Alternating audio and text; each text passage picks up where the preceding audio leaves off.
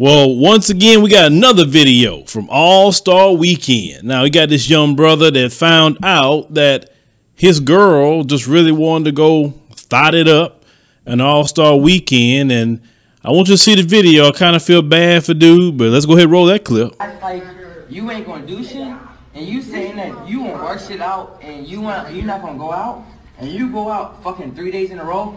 I hate you so much. I hate you so much. Stop. No, Zay, no, Zay, no, Zay, get the hold on, hold on, get the fuck out. Zay, I need to say some shit. You ain't gonna, please, I need to get shit off my chest. no. Please, just No. let me go, nigga. Just let me go. Please, no.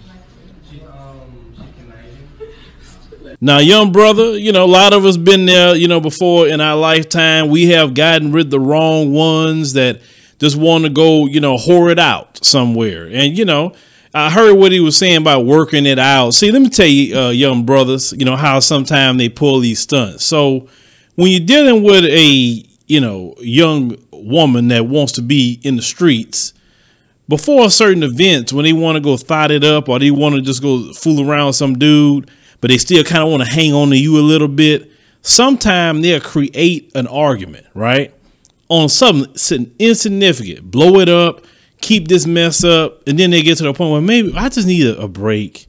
You know, I'm not saying we're really breaking up. I just need a break. I need some space, or I need some time, or may, maybe we can just kind of, you know, separate a little bit, do something, you know, and we just while we're figuring it out, right?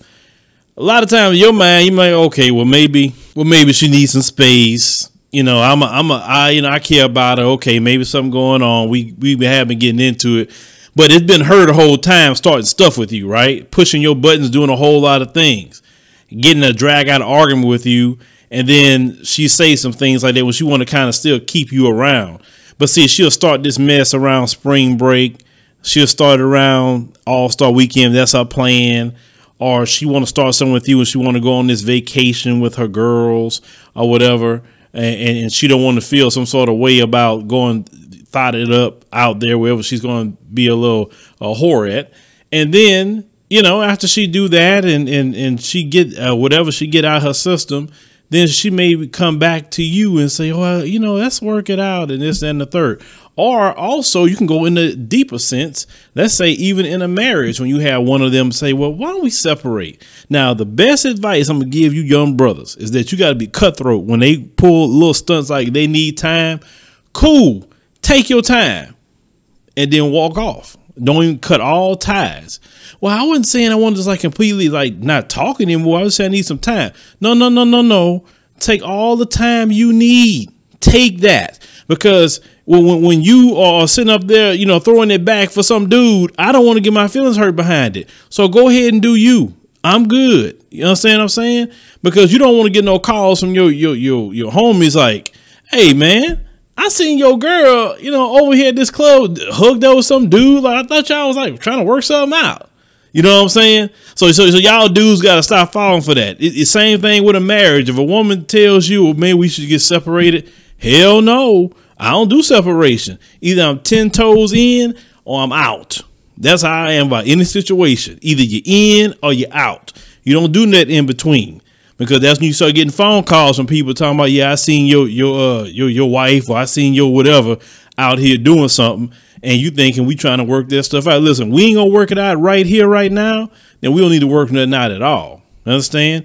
Like I said, we all been there. We all been there. We all got our feelings hurt that way.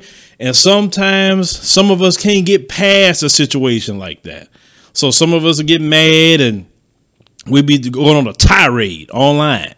You know what I'm saying? Going off on anything that look close to um, what happened to us, right? But move on. Let let her do her. Because let me tell you what I've seen in, in my lifetime with little women like that. They lose sometimes a good dude, a lot of times. And then after they had a few babies, they got knocked upside the head a few times, probably by the little dudes that they chasing. They ain't got nothing going on. Now here they come calling you again. You know, you doing all right for yourself. You know, you moved on. You probably got you a, a great girl now. She may even have your wife. And then they want to be trying to call you or say, hey, I ain't you talked to you in a long time. Like, huh? I said, what? What?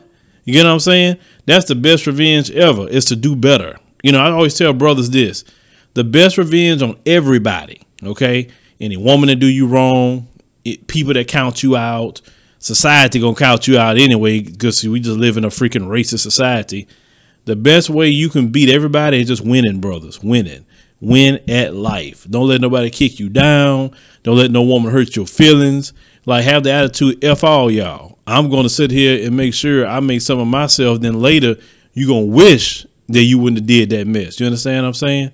That's the best way to be. But we all been there. Like I said, just just let let her go. Let let her get ran through. And you just move on to somebody else, man. Like that's all you gotta do. And, and trust me, a lot of times from my experience, when you move on from that one, you always will get you something better if you know how to pick right because she had signs that she was a little uh, a Jezebel. Okay, she had the signs with there. You just got to just pay attention to the signs. And a lot of times when you care about a little woman, you don't pay attention to the signs. You don't pay attention to the line. You don't pay attention to because trust me, one thing about you know little little women like that, they lie on top of line. They lie as much as they breathe.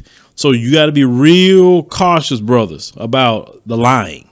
Like even if it's a small thing, if she lie about something small, she definitely lie about something big.